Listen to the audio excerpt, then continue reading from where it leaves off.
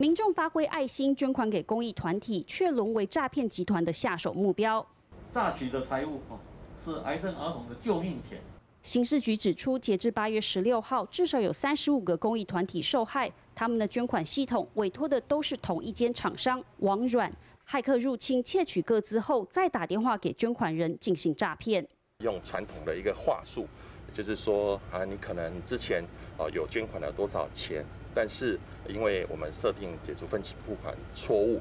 啊，所以会连续扣款十二期等等，啊，现在必须要请你到 ATM 来解除分期付款。通常是用周末，或是甚至晚上时间来诈骗，因为趁着我们基金会没有没有人来接电话的时候，好像最高额度已经有一个十几万被被骗走了。